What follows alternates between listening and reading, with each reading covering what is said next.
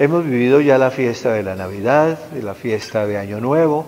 Estamos ahora en el primer domingo de este año, que como todos los años nos trae la fiesta de lo que llamamos los Reyes Magos, pero mejor la fiesta de la Epifanía del Señor. Escuchemos con atención la palabra de Dios. Lectura del Santo Evangelio según San Mateo. Habiendo nacido Jesús en Belén de Judea en tiempos del rey Herodes, unos magos de Oriente se presentaron en Jerusalén preguntando, ¿Dónde está el rey de los judíos que ha nacido? Porque hemos visto salir su estrella y venimos a adorarlo. Al enterarse el rey Herodes, se sobresaltó y toda Jerusalén con él.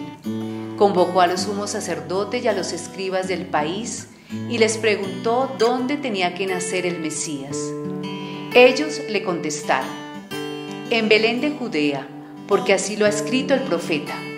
Y tú, Belén, tierra de Judá, no eres ni mucho menos la última de las poblaciones de Judá, pues de ti saldrá un jefe que pastoreará a mi pueblo Israel. Entonces Herodes llamó en secreto a los magos para que le precisaran el tiempo en que había aparecido la estrella y los mandó a Belén diciéndoles, Vayan y averigüen cuidadosamente qué hay del niño y cuando lo encuentren avísenme para ir yo también a adorarlo.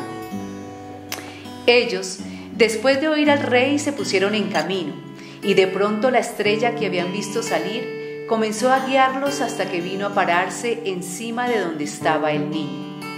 Al ver la estrella, se llenaron de inmensa alegría.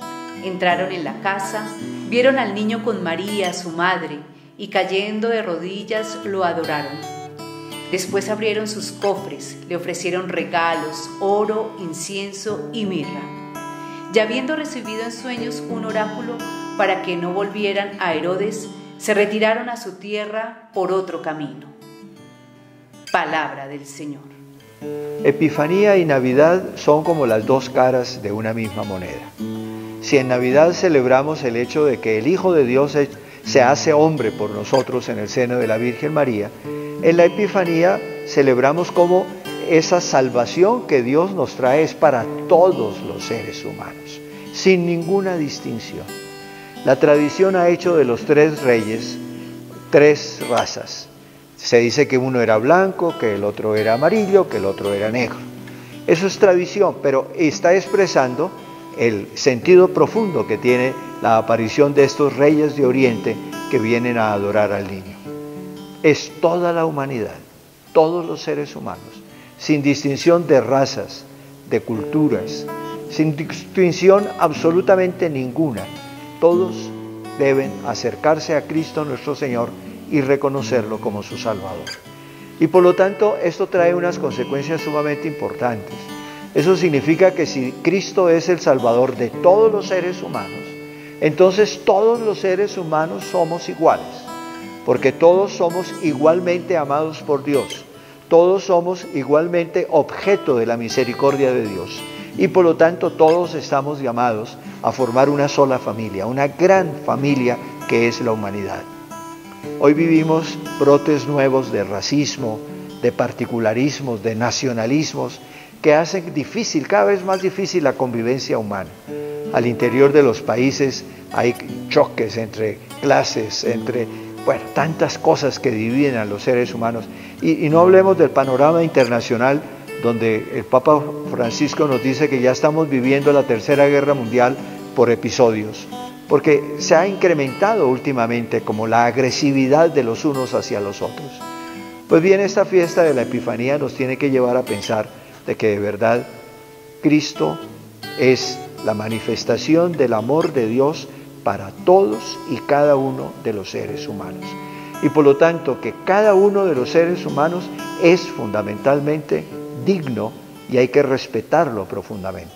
No se puede atentar en ningún sentido contra los derechos inviolables de cada una de las personas. No hay gente más y gente menos, no, todos estamos en la misma situación frente a Dios y por lo tanto todos merecemos el mismo respeto, los mismos cuidados, las mismas oportunidades, las mismas posibilidades de ser felices. Esto es algo que el Señor nos encomienda a nosotros. Porque nosotros sabemos que Cristo nuestro Señor es el Salvador de todos. Y por lo tanto nuestra tarea es que ese mensaje resuene en el mundo entero y que por lo tanto todos los seres humanos escuchen que son amados por Dios, que tienen una dignidad única e irrepetible y que por lo tanto todos seamos capaces de ayudarnos los unos a los otros para construir un mundo verdaderamente justo, fraterno, solidario y que por lo tanto viva en paz. Esa es nuestra tarea. Y esto a partir de reconocer a Cristo como el Salvador de todos los hombres. La bendición de Dios Todopoderoso, Padre, Hijo y Espíritu Santo, descienda sobre ustedes y permanezca para siempre. Amén.